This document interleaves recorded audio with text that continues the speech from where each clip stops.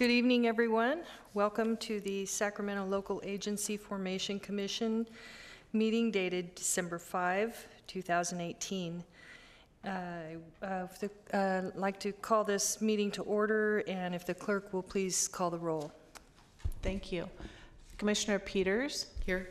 Frost? Here. Harrison? Jones? Here. Thank you. We have a quorum. Okay, thank you. Please rise for the Pledge of Allegiance.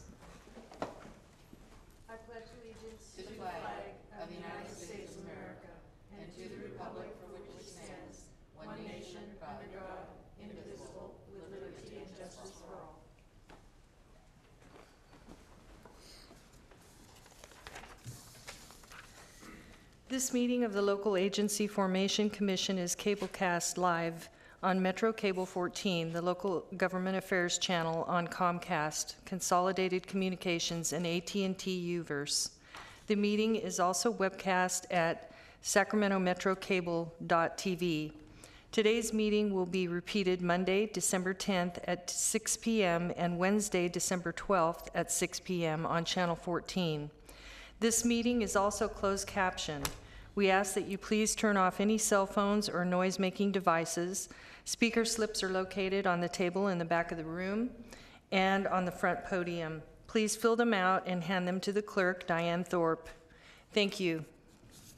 And at this time, I will open for public comment from the floor. And I do not have any speaker slips, and I do not see anyone waving their hands anxious to speak. So I'll close uh, public comment. Madam Clerk, please uh, read the first item, please. First item is our consent calendar, and before you, you have a update to the meeting minutes as requested. Um, So it's item one through three. Move the consent item, calendar. Second. Okay, uh, moved by Director Peters, seconded by Director Jones. Um, Please vote.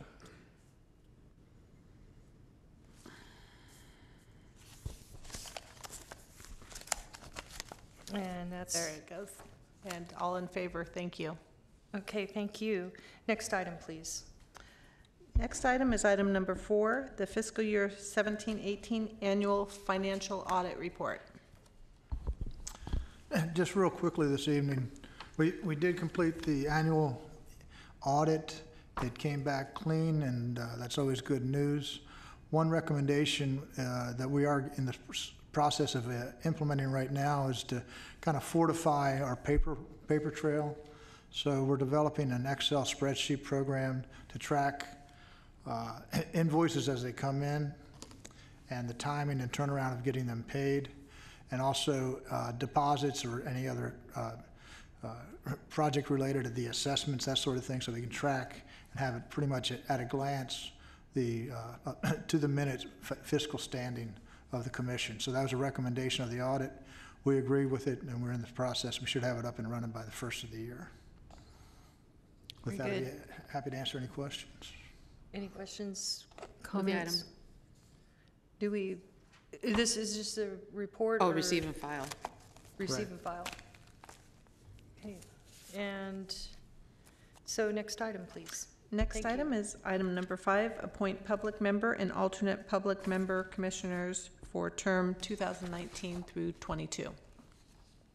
So, So my understanding is that we will, we need to uh, nominate the chair, and then um, the vice chair would wait until January, is that correct? this is the public member edition. Oh, oh, I'm Right. sorry. On- On on the public member question, I I think we- we've gone through the subcommittee process. We did process uh, or review, the because subcommittee in- reviewed and interviewed the three candidates who applied.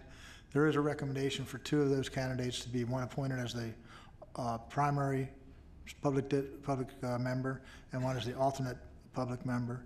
It does require an affirmative vote from one of each category of the commission, the county, cities, and special districts. Okay, so can we um, maybe, We'll skip do you want to and come back to continue it? it, or do you want to come back to it? I- uh, I, I agree. Af- later? No, let's see if we can revisit it with, in the event we have a, a- a commissioner arrive. I think we'll have someone any minute, so Okay, then let's uh, move on to item six. And Item number six is the chair and vice chair appointments for calendar year 2019. Okay, so, uh, This, just, just briefly, uh, the commission some time ago in 2007 established a, a- a standing rotation of the chairperson and the vice chair, and that's been adhered to with the, with one, a one-time exception a couple of years ago. So following that rotation would be the county seat to be uh, put into the chair, and the representative for the city of Sacramento uh, would be the vice chair on that, following that rotation. So it's a decision between the, the, the county reps who would, would want to, I, the vice chair move forward a- as the chair, or, Can we vote on this without a city member here? uh, yes, ma'am. Okay, I'd move uh, Supervisor Sue Frost for chair. okay, do we have a second? I'll second. Okay, m- uh, moved by Director Peters, second by Director Jones. Uh, Please vote. And uh, unanimous with all present. And so I suppose I will be the chair next year, and I'll try and do a good job. Congratulations. Thank you. Okay, and So do we, welcome, I don't think Ron. we know uh, who the city people are going to be till January, isn't They that? make the appointment in January, so you could just affirm that it would be the incoming city representative would, would take that seat. Okay, so we'll move that the, in- Have we not uh, approved the city rep without knowing the person, as long as they're with the city, the city's appointee? Yes, I think that, that is a per- permissible, We don't have to have it here. or correct. the person. that's what he just said, that we appoint the, whoever it comes from the city. Mm-hmm. And I'll second the motion from the end of the DS. I'm sorry, I, It- you're- are we You make the motion to continuing? have the incoming? Yes, I did. And I'll second. I'm sorry, I was talking, I'm the chair and I was talking. What was the motion for? Move that whoever is appointed by the city of Sacramento becomes vice chair. They're not, they're, they haven't, they don't appoint till January. Oh, So we we can don't do know who that? it's going to be. Yes, Without them present? correct. We're not Okay. designated a specific person. Okay, um, so moved by Director Peters and seconded by Director Jones. Please, and do we need to vote on that, or do we already vote? There we go. Please vote. Okay, close on display. Uh, And I'd like to acknowledge that Ron Greenwood is here, and he had not voted on that matter. So, Just move on, he can vote for the next item. okay. Here. he- Where is he well, here for the, Clear the screen and start over. We cleared it before he had a chance to vote. So, okay, so enable voting. There we go. please vote.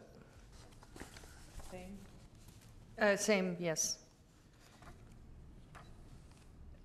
Okay. Okay, It'll be unanimous up in with a all minute. those There it present. is. Thank you. Thank you. Okay, and uh, next item, please. Next item is item number seven, City of Galt annexation of the industrial park expansion area. Th- th- This project is for, uh, give or take, 230 acres, sparsely developed, some developed, some scattered rural residential, as well as uh, some developed uh, light industrial manufacturing. It's on the north boundary of the city of Galt, uh, tucked tucked in between the uh, rail lines on the west and Highway 99 on the east. Uh, It's within the sphere of influence of the city of Galt. The city did exercise their responsibility to pre-zone the territory. That made them the lead agency for CEQA. They, they put together an initial study and a mitigating negative declaration that we- we reviewed and commented on. That's what your, the, the environmental documents uh, you're, you're relying on for your actions this evening. Uh, it- It's, uh, it is inhabited. There's about uh, 30-plus registered voters in the area. Uh, We have not heard any protests from anyone, but we do recommend, I do recommend that you designate myself as the conducting authority to hold the the protest hearings uh, after the 30-day reconsideration period.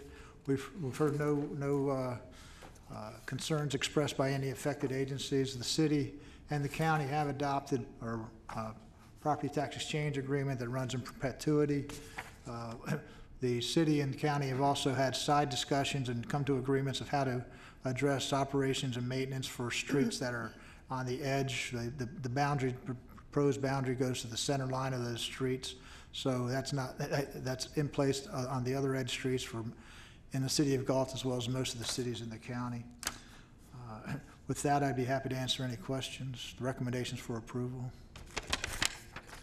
Okay, thank you, and I I would- apologize for being late. Any I'd like to questions? mention that uh, Chris Arias, the planning director from Galt, is here for any questions you have. I recognize him in the audience there. Good to see you, sir. Thank you. Uh, any questions for the, yes? I, I do have a question. I know this is annexation about office and industrial property, but in reading the demographics report, it kind of jumped out at me that it refers on page five that there's 7,453 housing units in 2010, and vacant housing units 1,960, which is like a 28% vacancy rate. Is that a typographical error, or am I misunderstanding that? You have to come to the microphone, please. I- th- th- This, da- I- I'll refer to the city staff for the data. Yeah, Chris Arias, Community Development Director for the City of Galt. I want to thank you for uh, hearing this item tonight. That, yeah, I- that figure is in error. There, that might have been from 2010. Uh, If you look at, uh, I think the date when this uh, data was collected was from that time period, but even then, that seems extraordinarily high. So our vacancy rate is extremely low. It's actually very difficult to find a vacant home in the city today. Uh, We have very few vacancies, so that is not correct. All right, Thanks for clarifying that. Okay, any other questions, uh, either of the city representative or of our executive officer? Okay, seeing none, thank you. Any members of the public wishing to speak on this item? No? Okay. Uh, Any uh, deliberation or direction and/or a motion? I'll move the item. Yeah, just a quick, do we have to open and close the public hearing on this to be official? It it is, yes, we do require a public hearing. Okay, uh, so I will open the public hearing, uh, open public comment, uh, close public comment, close the public hearing. I have a motion from Commissioner Peters. Is there a second? Seconded by Commissioner Greenwood. All those in favor say aye. Uh, Aye. we- We voted on the screen. Okay. Passes unanimous. If we could now, that we have a member from each of the representatives circle back to item number five, Okay, is the appointment of the public member and the alternate public member.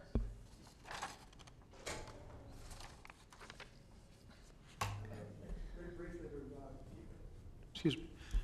Briefly, this item, this item is the, the uh, current public member, Commissioner Harrison, has expressed his interest in greener pastures, so we've, uh, we po- we posted this, o- this opening, we received uh, uh, three applications.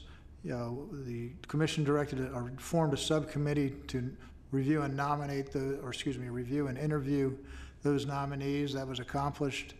And uh, going forward, the recommendation of the, of the subcommittee is uh, that Chris Little, the, the current alternate to the commission, be approved or into the public member, full-time position, and Timothy Murphy to the position of alternate public member. Uh, This, this does uh, warrant public testimony in the event that the commission wants to open that. Uh, okay, very good. I will open public comment. Is there anybody wishing to speak on this item? No? Okay, we'll close public comment. Uh, As was mentioned, the subcommittee does have a recommendation. Is there a motion? Move committee's recommendation. All right, I have a motion. Is there a second? Second? Seconded by Commissioner Harrison. All those in favor say, all right, Mark? Aye.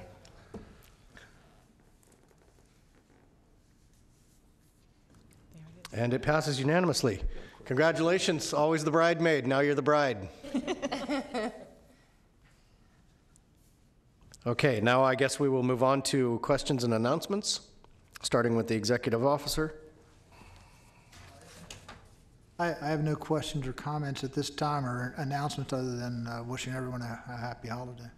Very good. In that case, we'll move to uh, comments or questions from the commissioners. Yeah, Commissioner Peters. I wanted to thank Jack Yeah. Harrison for his service on this board. Um, okay, always asking a lot of uh, important questions and uh, always prepared. And we'll miss you. I hope to put you in use in Carmichael more. Thank you. Uh, To reiterate, same, thank you very much, Jack. Appreciate your service and your work and your interest. Thank you. Yes, I would uh, thank you as well, and it's been a pleasure serving with you, and happy to ride off into the sunset together and enjoy other roles.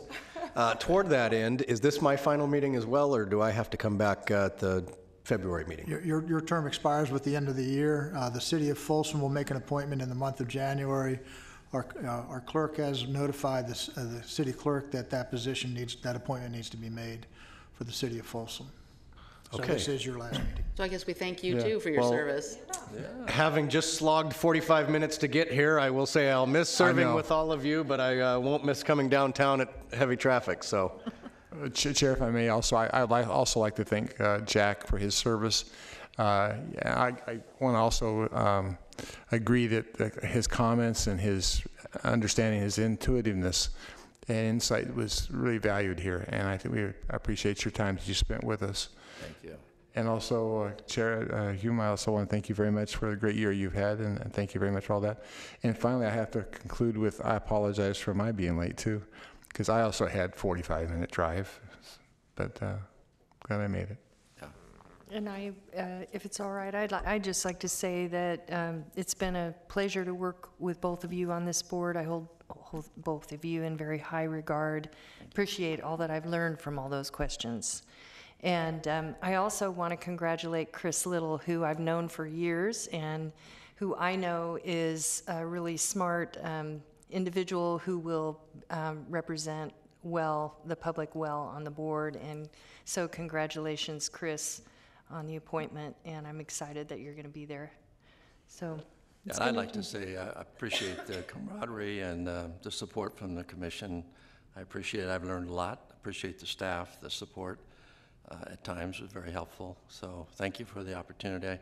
I learned some things along the way, met some new friends.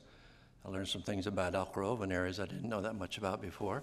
So I have a broader grasp now, I think, of the region and what's happening with uh, land use issues. So it's been a good experience, and I'm happy to step aside and let someone else enjoy it. So, Chris, I wish you the best, and thank you for being my alternate.